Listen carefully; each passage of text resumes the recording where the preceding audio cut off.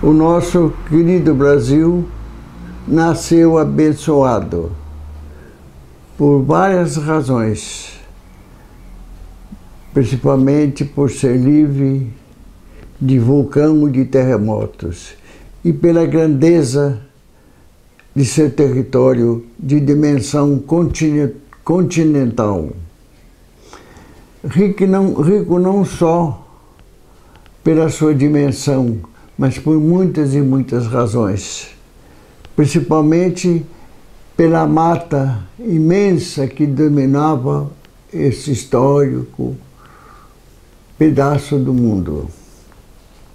Mas voltando à nossa cidade de Oswaldo Cruz, devo lembrar também que, como retrato do Brasil, era formada por densa floresta, por grande floresta que dominava esta região, localizada no espigão da Nova Alta Paulista, entre dois rios, o rio Aguapeí e o Rio do Peixe, inclusive habitado por índios caiuás.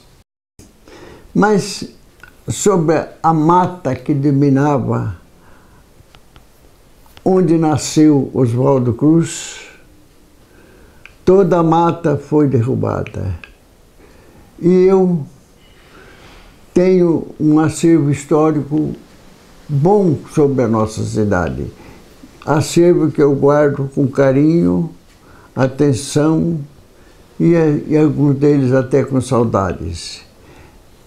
Seria longo eu mostrar alguns desses acervos mas escolhi um de modo muito especial.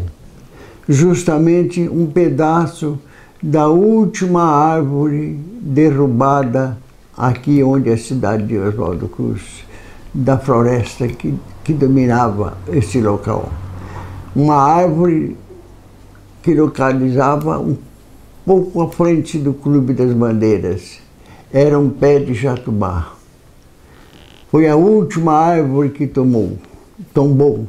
A última árvore que caiu foi derrubada exatamente no dia 6 de julho de 1988.